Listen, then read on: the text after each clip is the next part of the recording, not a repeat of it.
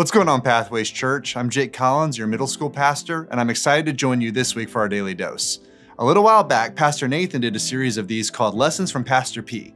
You should go back and watch those sometime if you haven't already.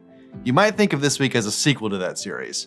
I'm going to share with you five lessons that I've learned from ministry leaders in my life during my time prior to landing here at Pathways.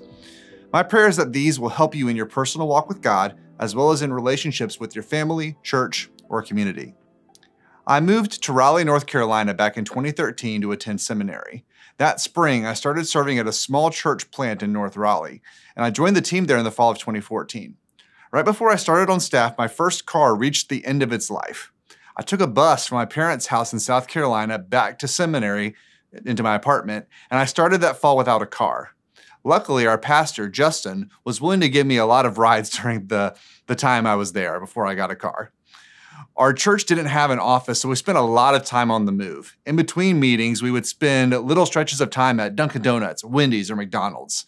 It was here where Justin taught me our first lesson for this week. See, Justin never ste- stepped out of ministry mode. He treated the employees at these places with the same kindness, generosity, and understanding that he would treat our church members with. It was like he was always taking that first step towards possibly pointing people to Jesus. This reminded me of Jesus' challenge to the disciples to go and make disciples of all nations, baptizing them in the name of the Father, Son, and Holy Spirit, and teaching them everything I have commanded you.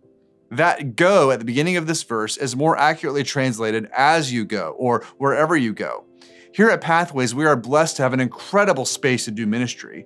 But if we're not careful, we can convince ourselves that ministry only happens here. The truth is that we can and should be on mission for God wherever we go. This includes our homes, our places of work, our schools, and yes, even the line at Walmart. That's all for today. Join me back here tomorrow for another Daily Dose.